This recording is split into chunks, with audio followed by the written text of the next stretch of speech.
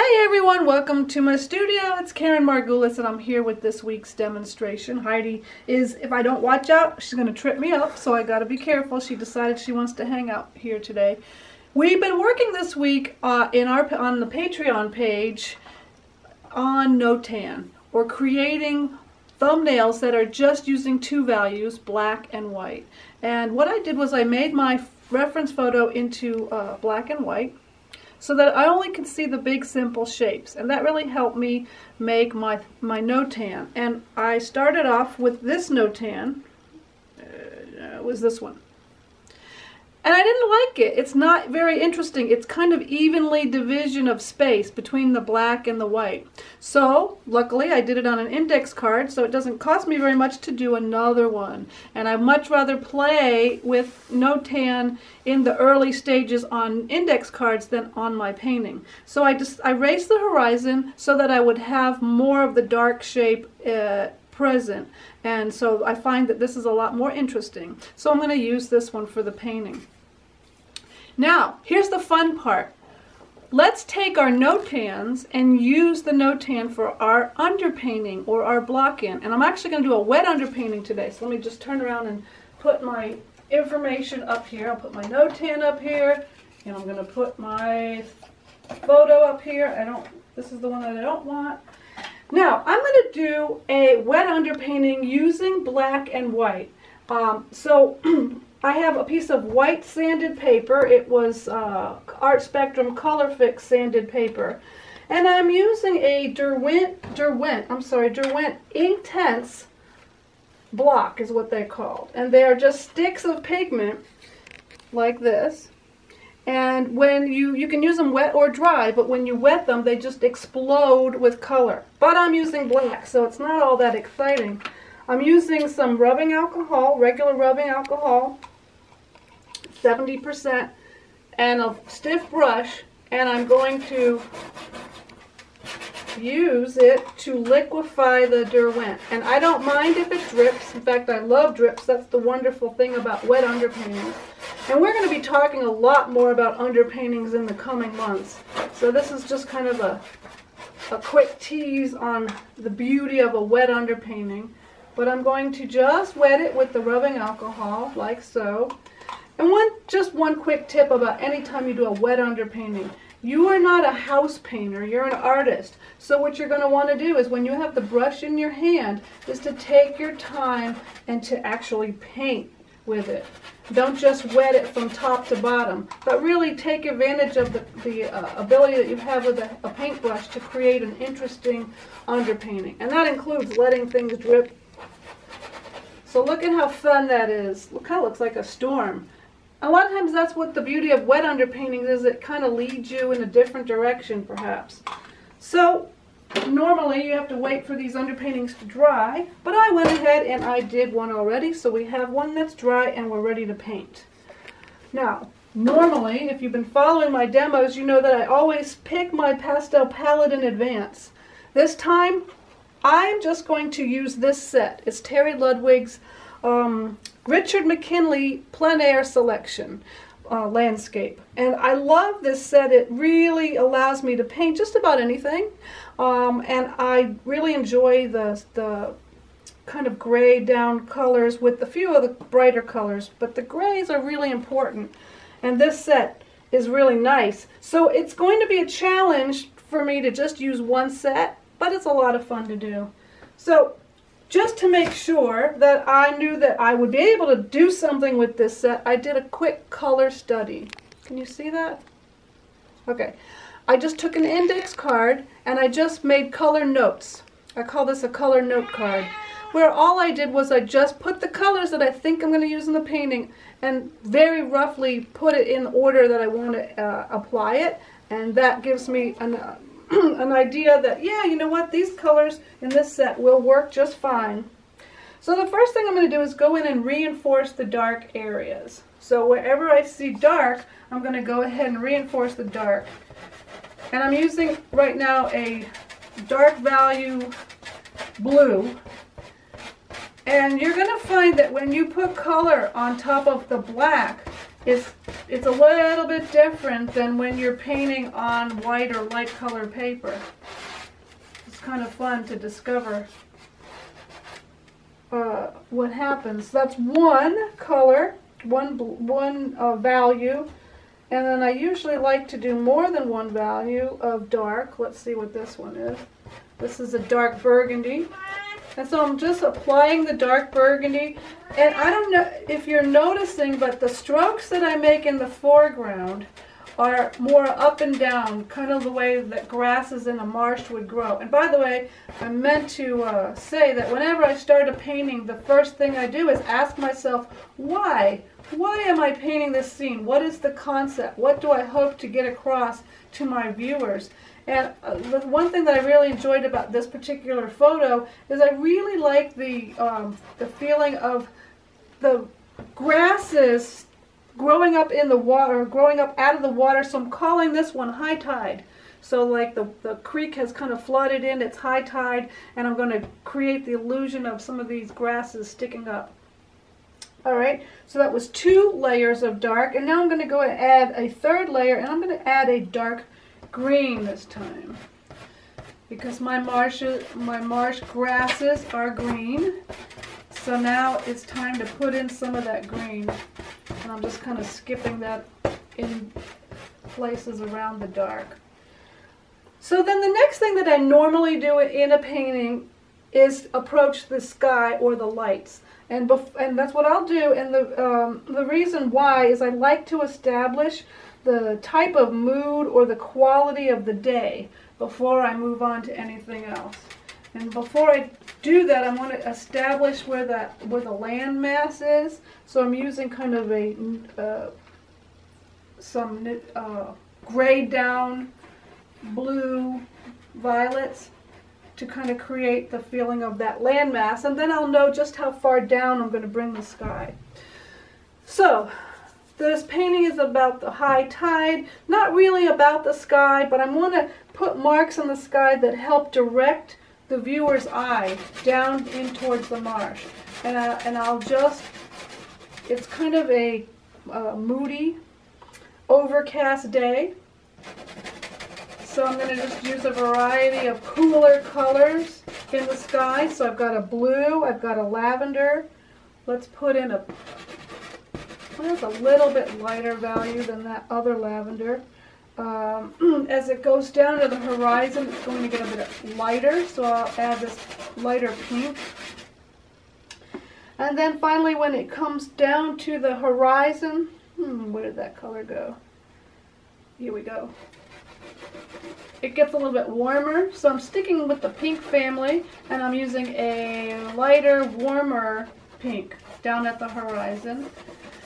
And I kind of like the idea that the sky is starting to turn blue, like there's there's kind of hope. A little bit of uh, breaks in the cloud cover, so I'm adding some blue, a nice warm turquoisey blue to the sky. Just kind of to, to, to uh, simulate that break, the breaks in the, in the sky. Now I'm going to go ahead and add just a little bit of a very, very pale. Um, it's really a pale yellow right at the horizon there. So that's it with the sky. So now I'm ready to move down into the, the grasses and the water. I'm going to first apply what I like to call the dirt color. So I'm going to put some color on the, um, the ground where the grass is going to grow. And I think what I'm going to do is just kind of reintroduce those violets that I put up in the sky. And there's a couple reasons for this. First reason is it's going to make the uh, ground or the grass much more interesting um, because I'll, it'll be some colors in the in the what I like to call the dirt colors. But beyond that, it's going to create a connection between what's happening in the sky and what's happening on the ground. So by adding the pinks and the violets in the grasses, in the dirt, I call this the dirt, then it allows there to be this nice relationship uh, between the two color families. All right, so now I've got sky, I've got dirt, I've got distant land. Actually, while I'm thinking of it, I'm going to take my pale pink, which was the sky color, and I'm going to break up this distant piece of land and make it a little bit more interesting. It was, it was kind of uh, straight and boring.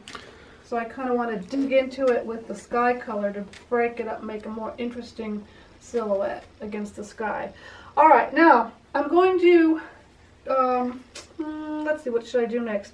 I want to do the water, but before I do that, I need to get some reflections going in the in the grass. So before I, I attempt the water, I'm actually going to need to go in and do some of the grass.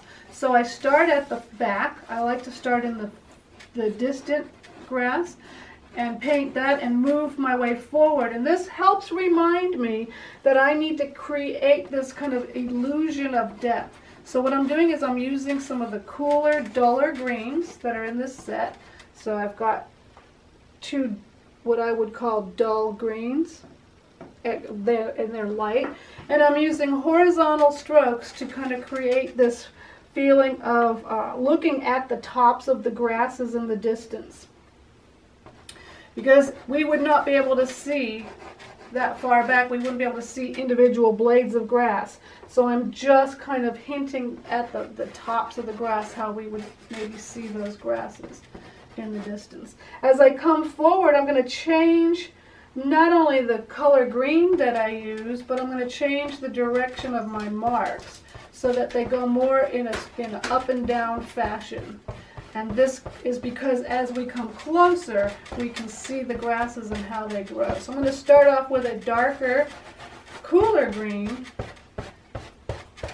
And I really would like to allow some of the pink to peek through, so I'm not trying to get rid of all the pink. And I just put, I'm putting in a darker green in these shadowed areas uh, along the the uh, edge of the water.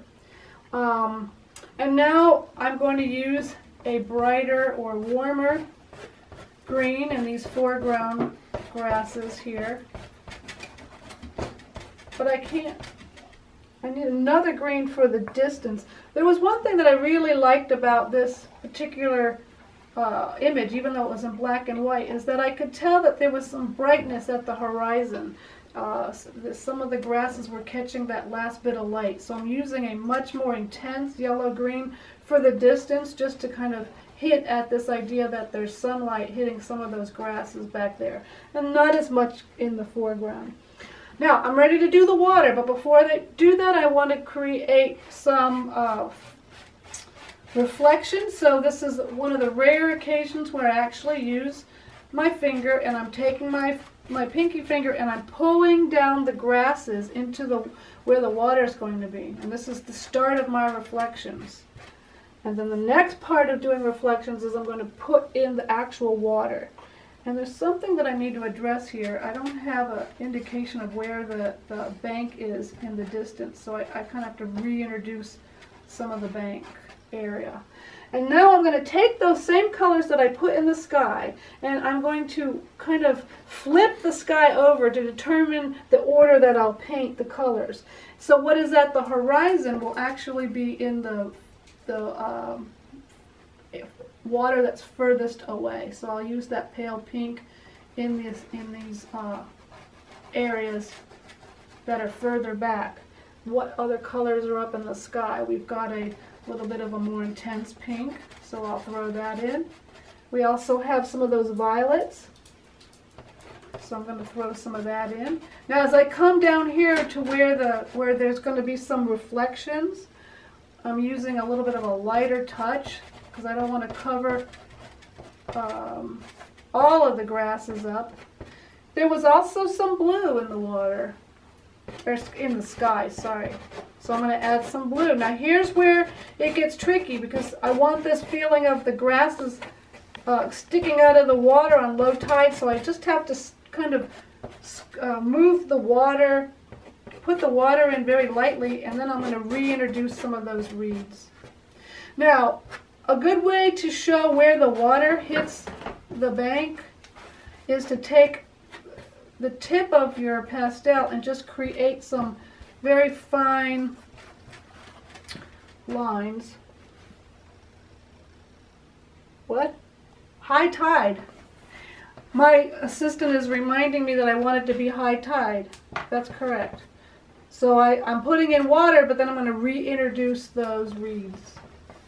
So it's always good, thank you for the reminder, it's always good to remind yourself of what your concept is.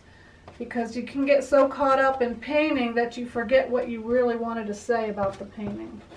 All right, so now um, I've got I've got the sky, I've got the land and the dirt, I've got some grass, I've got some water. So this is the fun part. It's just simply coming in and putting in those finishing marks and kind of just refining. And how do I know what, how to refine? I just simply ask myself, what was my concept? Is that is it clear? And how does the viewer read this painting? In other words, how does the viewer enter and exit? Well, you can kind of come down through these clouds, and then once you get here, you kind of pick up here, and you go down the water. So I just need a little bit more clarity in some of these um, grasses. So I'm going to take the side of this, now because I don't have my grass box, and normally I, I kind of make the grass with the harder pastels. In this case, I only have the Terry Ludwig uh, softer pastels, so I'm using the edge of it and pressing it and releasing it to create some grassy marks. And that's how I'm going to make do with this set. And then finally, I'll come in and say, okay, I could use a few brighter pieces of grass right in here, and then maybe a little touch of, um, a little bit of a, what I, here's what I'm thinking. I'm trying to think and, and, uh, make this and talk and think at the same time. It's not always easy to do. What I want to do is I want to um, make this feel like it's further back. And right now they're both about the same value. So I could lighten this, but I could also darken this one. So what I'm going to do is take that Terry Ludwig eggplant that's in this set. You can see how dark it is. And I'm going to add a few bits and pieces of it in the foreground area. And of course I can use it for some of these bits and pieces of grass that were coming up out of the water. So it's actually the perfect color and value to create that feeling of high tide that I'm after.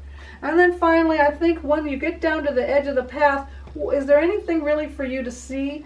And there's not so much, so I think I'm going to put in just a little bit of a hint of a building back there. So I'm going to just make a couple of marks with the pastel and add a little pink roof and I'm going to call this one done. So Heidi's done, and I'm done, and, and thanks for tuning in today.